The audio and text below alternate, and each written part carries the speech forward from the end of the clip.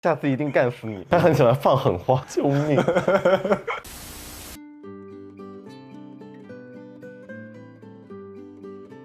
大家好，我是超仔。大家好，我是超仔对象华华。呃，我是福建人，福建福州。我觉得福州是一个非常狂热的城市。我是奶奶带大的一个小孩子，所以我的家庭教育算是比较传统的。奶奶呢也会希望你能够自力更生，她就会让我稍微比较独立一点，靠自己，然后呢不要去依赖他人。福建它是一个非常非常传统的一个城市，我们非常看重血脉相承。有一天他生病了，然后就把我叫到他的床前跟我讲，他说 我这辈子就最放心不下你了。他说我想要看到你生小孩。对于老一辈的人来讲。这种牵挂就是他们对于一个家庭里面最大的一个寄托。他们判断一个人过得好不好，就是看到他们有没有成家立业，有没有一个幸福的家庭。我是在山东长大的台湾人，它是一个封建，但是又有义气、古道热肠的城市，在那边生活还算蛮好的。台湾很多元，而且他还蛮热情的。我爸跟我妈是分居二十年，我的爸爸是台湾人，是会比较接受的。他对我的人生就是管好你自己。但我妈妈那边她是传统的山东女人，不太会接受。当时在朋友的生日聚会上认识的，看他在旁边一个人无聊，但是他唱的非常嗨。他唱完之后就在旁边孤零零坐着，虽然很渴望想要恋爱，但是不会主动出击，希望有一个天降系男友，突然从天而降，然后然后跟我谈恋爱。当时我也很无聊，因为我去 KTV 上，我基本也不唱歌，我就跟他在玩飞行棋，他让我印象深刻，他一架飞机撞毁了我三架飞机，当时就有一点那种冤家的那种缘分吧。嗯，然后第二天我们就约吃饭。就我要离开北京了，离开的前一天，要不然约一个饭吧。其实就是很单纯的想要吃一个饭，也不会想说谈恋爱。然后每天就是在网络上面聊天，感觉好像每天会很期待一个人给你发消息。然后有一段时间，刚好我去恰巧又要去杭州，他当时的室友说也要来杭州旅游，我就说那你把那个张亮华一起带上。他表面上说不想去，后面还是拿着行李箱就过来了。几天之后，我又要回福州，然后我就载他回去，然后看了我奶奶什么的。他是一个很小孩子的人。我以前发誓，我说我以后再也不要谈一个小孩子。没想到我最后又败在他手上。我明明知道他是一个小孩子，但是好像还是想要跟他在一起，就会觉得有一种又被受折磨，但是又很开心乐在其中的感觉，很女人。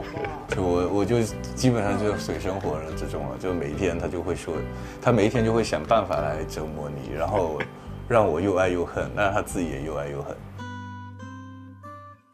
我们玩玩小游戏，不是你们想的小游戏。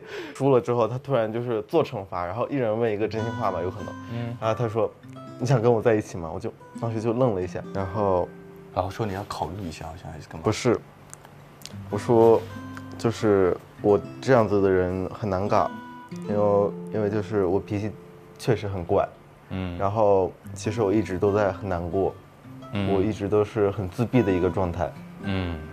就是我不想把我的自闭和我的难过，然后带给到你。如果你做了我对象的话，你肯定会要一起承受我的这些不好的情绪。是我记起来了，你记起来了。对。然后当时你给给我很感动的一个回答，嗯，就是说，就是对不起宝宝，我没有察觉到你以前那么难过，你现在还是在难过。林超好暖心哦。然后我考虑了一下，然后然后想了一下，就是在一起。啊。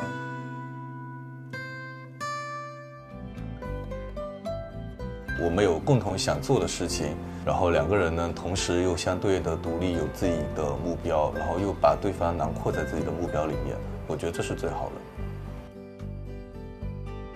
恋爱这件事情，一方面是从平台上来说，讲到。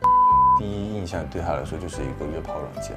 那像大家现在好像把它就当做一个发照片的，就像 Instagram 那种，大家都偏向冷漠，好像不愿意，谁也不愿意，好像轻易把自己的真心就交给别人，都害怕被拒绝。我并没有很大的信心在网上能够找到一个这样的平台，能够帮助我去做这样事情。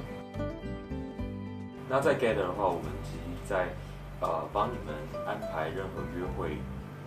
呃见面之前，会花两个小时跟你们仔细的去聊，嗯包括了解你们的背景、想法、情感经验之外，我们也会呃去跟你们聊说，那你到底想要找到什么样的人？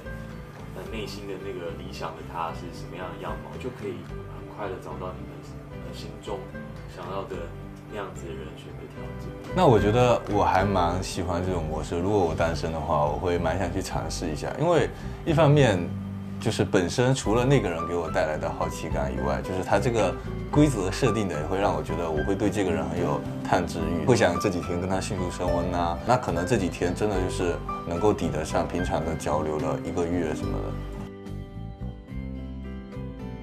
用《小王子》里的一句话来说，如果要和别人产生羁绊，就要承担掉眼泪的风险。不要害怕掉眼泪，不要害怕不值得，总会有人喜欢你的眼泪，喜欢你的一切。我理解的理想关系，不是互相吸引或是灵魂感染，而是每当我爬上一座山顶峰的时候，我想立刻拍下这一切分享于你。